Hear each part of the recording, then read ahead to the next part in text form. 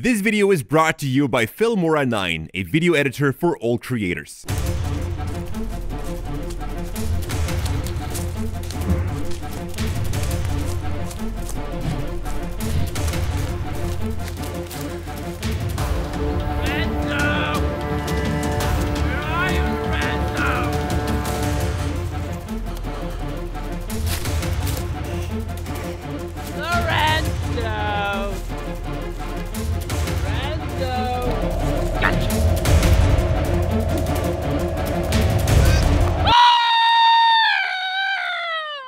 Come on! We're trying to make a real action scene! Janik, come on, man. Don't scream like a little girl.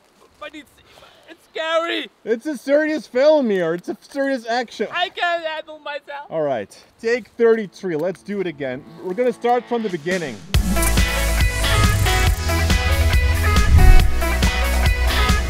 Hey guys, Jordy here for Cinecom.net and welcome to Creative Tuesday. Today we're having a look at 5 camera tricks to make an action scene more interesting and dynamic. It's a lot more than just filming handheld, so without further ado, let's start with the first camera tip, which is handheld. Didn't see that one coming, eh?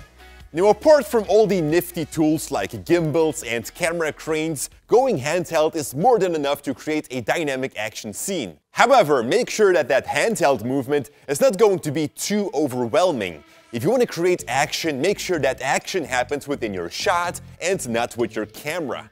For example, let your talent jump over things, look nervous around, or simply run like a maniac. If you like to emphasize that action, a simple trick is to lock in on the subject. Try to follow its movement and try to get a stable shot. You'll notice that the camera will move around anyways, but in a natural way. It's like the shots we did when Lorenzo was running. I tried everything possible to get a stable shot.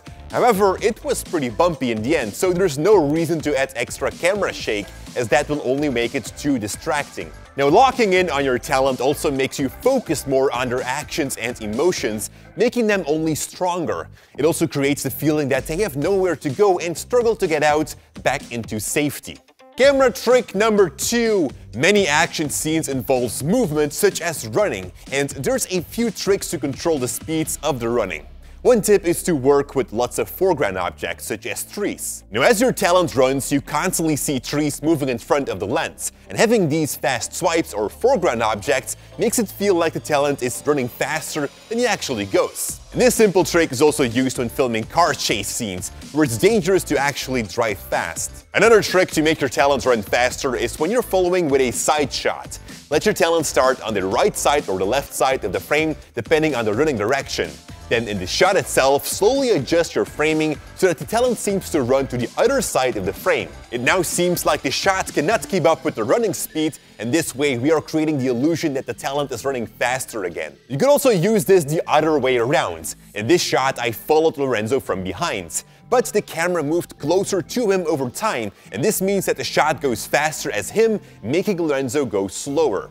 And because he is being chased, it feels like the danger or the bad guy is coming closer to him, creating more tension. Now I've got three more tips for you guys, but first I'd like to take a brief moment to thank today's sponsor, which is Filmora. Even though we make a ton of Premiere tutorials here on the channel, I often get the question if I know any good alternative that is easier to use than Premiere Pro. I was already familiar with Filmora 9, but since I reached out for a sponsor deal, I gave it a shot myself and actually edited the intro of this video in it. And honestly, I was blown away by what it can do. Filmora 9 is a video editing program that has a super easy user interface without too many bells and whistles. And unlike many other mediocre editors, Filmora 9 does come with a ton of professional features such as multiple video tracks, color correction tools, green keying, and stabilization. Another interesting feature that Filmora 9 comes with is their effects and elements library. There are a bunch of free assets, but also a ton of premium quality assets, such as these blockbuster sets. These here are muzzle flashes, explosions, bullets, smoke, and so much more. After you download them from their library, they will be automatically added to your Filmora 9 editor. And from here, you can simply drag and drop them into your timeline. So definitely make sure to try it out yourself if you're looking for a more affordable and easier alternative to Premiere Pro. You can click the first link in the description below for more information. And now let's continue with tip number three. The audience is part of your film, but you can decide where your audience sits and that has to do with the focal length of your lens. Zooming out, going wide angle, makes it seem like the audience sits closer to the scene. So by standing close to your actor on a wide angle lens, makes the audience feel the emotion of that actor a lot more. But then here we cut to a long focal length. We're zoomed in as we look at the bad guy. And this makes the audience still feel like we're standing next to Lorenzo, but we're looking from his point of view from a safe distance to Janek. At a certain moment, we see Lorenzo looking away from Janek, and then we cut to him. We're going to a wide-angle lens close to Janek, and the audience also feels closer to Janek now as we're looking not anymore from a distance to him. And this means that it feels like Lorenzo does not know or sees where Janek is. If we shot this again on a tele lens, it felt more like Lorenzo did feel where he was. So that simple trick of zooming in from a distance or zooming out and standing close can mean a big difference in how the audience will feel. Camera trick number 4. Change your shutter speed. Now we want to make everything sharp, more grungy, so that's why I'm going to set a faster shutter speed. There's no rule, but basically the faster you set your shutter speed, the less motion blur you'll get. I set my camera to around 45 degrees shutter angle, which is the same as 1 200th of a second when filming at 25 FPS. And this also makes your action shots more realistic, which helps to pull the audience more into your film. However, I must say that I would only recommend to do this with action scenes, as it does make your shots more like grungy. And that brings us to the last camera trick. Whenever a specific action takes longer, you might want to focus in on the actor on what he's doing.